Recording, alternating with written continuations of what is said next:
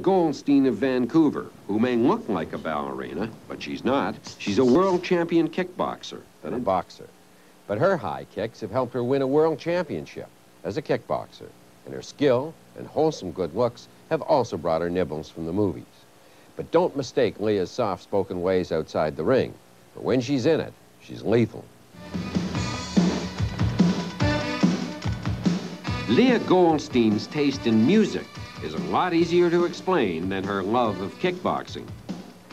I don't know, I've just always been involved in sports, very active person. Even today, you know, I can't just sit still or, you know, like, I can't head for a career where I'd be in an office and just sit at a, at a desk. I'd have to be very mobile and move around. She often trains to the music of her favorite group, the Parachute Club.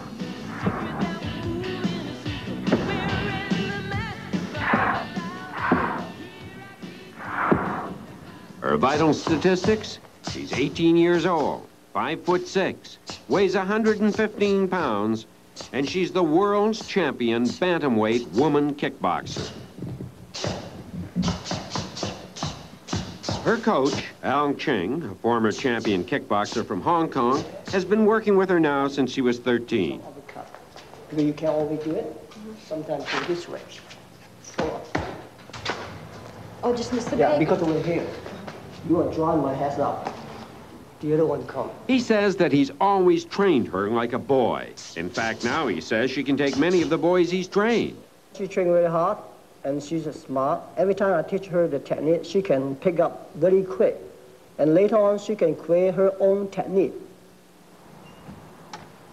Unlike most fighters, Leah is not a child of the streets. She comes from an affluent family, but has earned her own place in her sport by an iron will and iron discipline.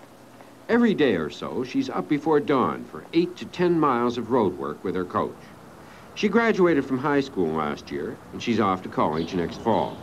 She intends to study law to please her father, physical fitness to please herself. At first, Leah didn't tell her family about the kickboxing. She knew that they would worry about her. Leah sometimes works in her father's manufacturing plant, running the heavy machines that they use to build or repair parts for ocean-going ships. Her dad's other employees will tell you that around work, Leah is a regular guy and asks no favors. Leah's father, Sam Goldstein, had boxed in the Israeli army, and he once tried to discourage Leah by putting on the gloves with her. And when, when I give her a hook,